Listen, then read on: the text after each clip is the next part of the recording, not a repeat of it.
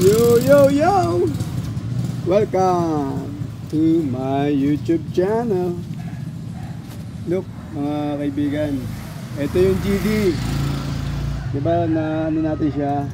Na-play natin siya nung last, uh, last, last month ba? So, ito ang mga tips na bago. Ito yung ano, clutch wheel. Diba natatanggalan ng ano yan, circlip. Ngayon, uh, pinamasin ni Kuya Victor. Victor din yun eh. Vic, Kuya Vic. Ang Kuya Vic, pinamasin niya doon, pinakayuda niya. Tapos mayroong washer dyan. Dyan ang washer para hindi matanggal sa circlip. Diba? Instead of circlip, pinawasheran niya yan. Okay? So yan. Oh. Yung washer.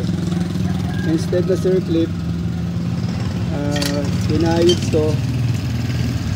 Ayan o. Ayun. Para babangga yung ito, nakagano na lang yan. Wala nang circlip circlip. Yan, up, sorry kasi hawak ko yung ano.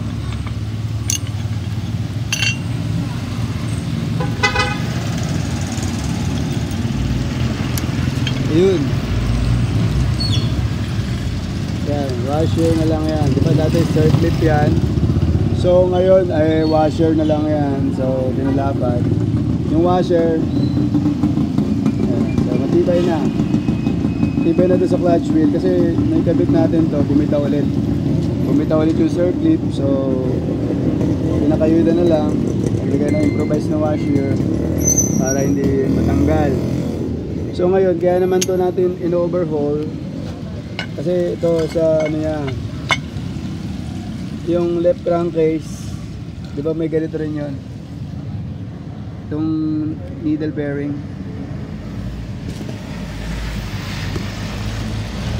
Nasira yung needle bearing na isa eh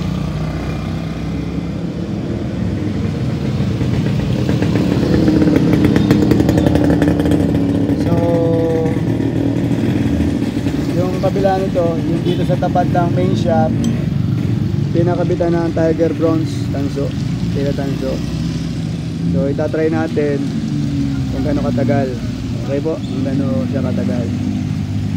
Kung hanggang kailan ang lifespan nung uh, na-rebushing ni tanso. So ito yung sa kicker side. Kick spring, pinakang guide ng spring, flat washer spring again tapos itong pinion kick pinion. Tatapat mo yung may mark yan. May punching mark yan may punch mark. Sushoot mo lang doon. Mas mong tapat ng gear. Natin yung punch mark. Para hindi ka magkamali pagbabalik. So tapos ito yung kalo niyan. Yung uh, kick gear. Nandun. Yan tapos may washer yan sa labas Ayan yung sa kick shop ng GD. So para ano para alam natin mga newbie, ating mga subscriber. Ayan. Tapos ito yung sa ito yung counter shop. Ito yung counter shop niya pagka ito yung sa sprocket side, engine sprocket side. So ito yung sa ano kanan patapat sa net sa needle bearing. May washer yan pag natanggal. Ayan wala wala. Okay.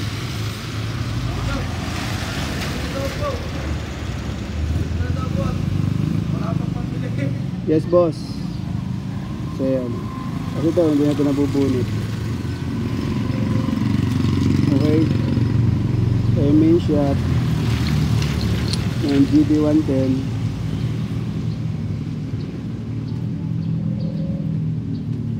Ito papaloob ito yung washer tapos yung mismong uh, yun counter shop yun eh. Yung main shop dinala doon? Kasi matangos yung dulo ng shafting, kakayo din yon. Pero surface, ipapantay doon sa ginagawang bushing na tanso. So ito, ito lang naman yung nabubunot doon. Yung papunta ng stick bearing, washer. Second gear, same time. Yun. Okay.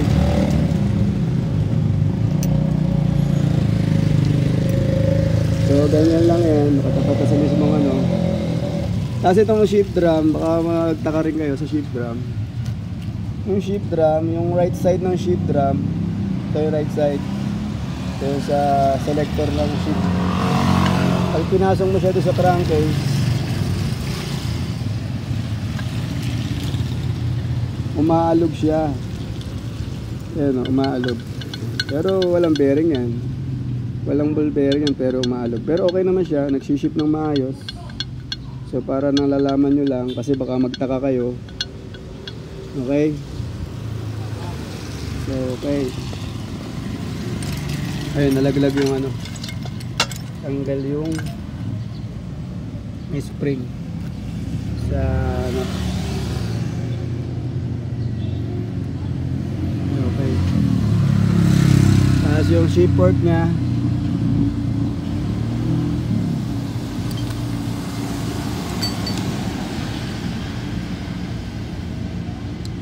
Tapos yung sa washer ng sa clutch housing, sa clutch, nut, clamp, clutch washer.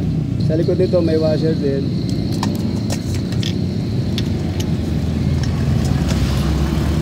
Ayan. Bushing pala yan, bushing. Ayan, bushing. Bushing washer. Tapos sa likod nun, ito. Okay. Pagdating naman sa pinion side, sa pinion gear nut yung lock washer tapos yung flat tapos ito spacer na may spline. May bigat to eh may tamang bigat. Spacer din oh. Bushing type. Yun ang magkakasunod yan ha? Tapos washer. Washer tapos yung gear ng pinion gear. Ito yung pinion gear. Tapos washer ulit dito. Flat washer na ganito pa rin, oh. Yan. Washer. Kasi ito yung gear. May kunya yan sa loob. Yung gear ng oil pump. Unahin mo ikabit to. Bago mo ikabit yung oil pump. So, yun lang. So, ito naman, itong bearing dito, 6007, 6007, 6205, 6205 magnetoside. So yung kanyang stator, full wave na yan. Dalawang output lumabas. Huwag nyo kalimutan yung ano sa gitna ng crankcase, dowel. Yan. Ano pa ba? So yun lang ang GT. Ang clutch lining naman niya, apat lang. Kasi sa vlog natin isa. Shoutout po sa may-ari to, kay Kuya Vic. Tsaka doon sa anak. So yung barbula niya, ito yung bulb niya. So makarbo na. Yung piston, 9 years to mga paps, 9 years na tumatakbo. Hmm. Tama yung head ng ano, makarbo na. Maraming tutong stock ang oil ring sa ilalim. So, yun lang naman. 8 gram. Tapos middle bearing Cadillac yan. So, yung isang middle bearing, tapat ng segunda, sa mismong uh, main shaft, nasira. Kaya ngayon, pag kumambyo ka, yung segunda, ramdam mo parang umuugong. Parang may konting halinghing or ugong. So, ito ang GD ah yung sa ating mga newbie, mga kaibigan natin, sa mga subscriber natin. Uh, salamat po sa patuloy niyong pag-subscribe. Uh, pasensya na po kung paminsan-minsan lang tayo makapag-upload ng video. Uh, thank you po.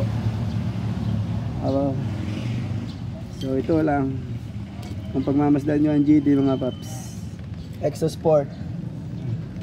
Ang liit lang oh hindi pa makapenetrate yung ating hinlalaki Kasi ang lakas niya eh. Okay. So, that's it. Ito ang ating GT. So, wala tayong nalimutan. Okay. Doon sa selector naman, doon sa star.